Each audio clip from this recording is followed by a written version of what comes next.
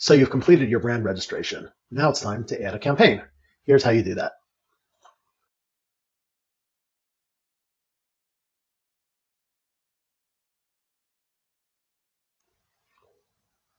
In the pop-up window that appears, customers need to add a campaign description. Customers then need to select the previously created brand. You can't create a campaign without a brand.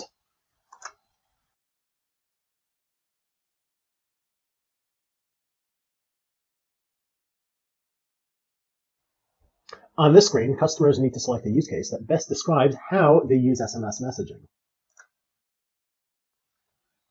The monthly fee varies between 2 to about $30, depending on the use case they choose.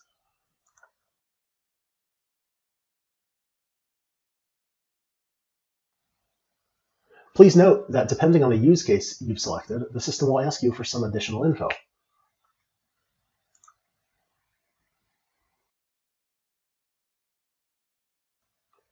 Generally speaking, almost all campaigns will require customers to provide a sample message. Some use cases may require two or three samples. The campaign and content attributes section contains a series of yes or no questions related to particular features of this campaign.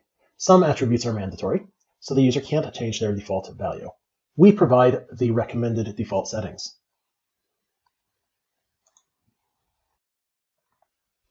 After you submit your registration, a message appears indicating that your campaign was submitted and is now under review. You can see the status of the request on the 10DLC Campaigns tab.